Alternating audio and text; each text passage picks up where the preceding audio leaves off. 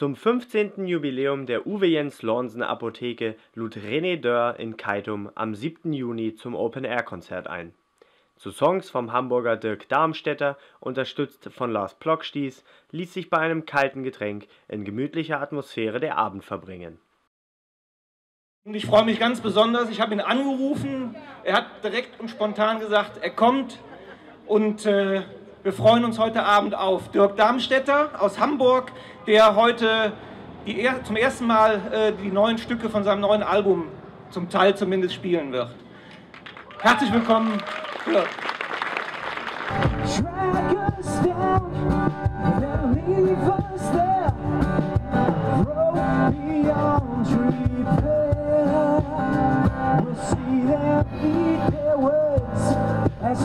Like Astaire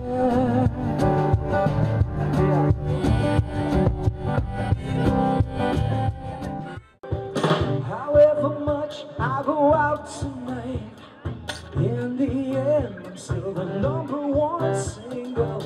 Parts of my body never see the light. And as much as I try I'm still the number one single